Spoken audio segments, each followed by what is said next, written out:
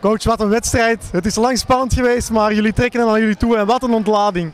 Ja, dat is echt. eh, moet je kijken wat dat allemaal wat dat, wat dat doet met, eh, met deze stad. Ja, we hebben vandaag eh, historie geschreven door ja, de landskampioen te onttronen. Maar ook voor het eerst in de historie van de, de club om de finale te halen. En we hebben kei en keihard gewerkt.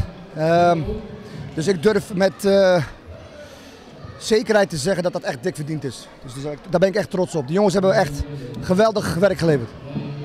Jullie namen ook van in het begin het initiatief. Jullie hebben de meeste kansen gemaakt.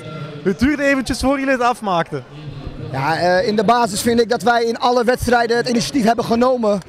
Eh, wij zijn een ploeg die graag met veel intensiteit wil spelen. We willen veel en vaak aan de bal komen. Eh we zijn playmakers. En uiteindelijk ja, heeft dat zich vertaald in, in de winst. Dus ik denk wat dat betreft, eh, met alle respect natuurlijk naar eh, de tegenstander, want die heeft echt het ons enorm moeilijk gemaakt. En eh, wij respecteren uiteraard FC Eindhoven. En, maar wij zijn zelf dolgelukkig. Maar ik sta hier naast een man. Ik doe het niet alleen.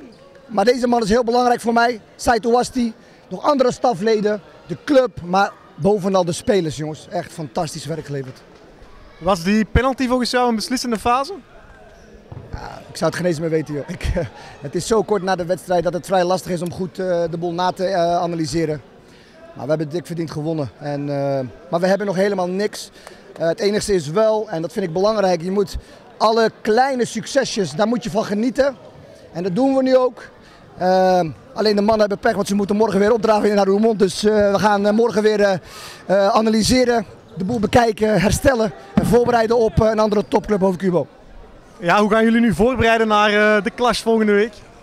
Ja, niet anders dan anders. Zoals altijd eh, brengen we alles weer in beeld.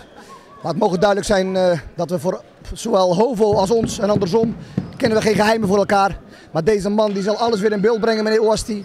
En die, we gaan weer een gameplan maken en kijken wat we volgende week kunnen gaan doen in Hoorn.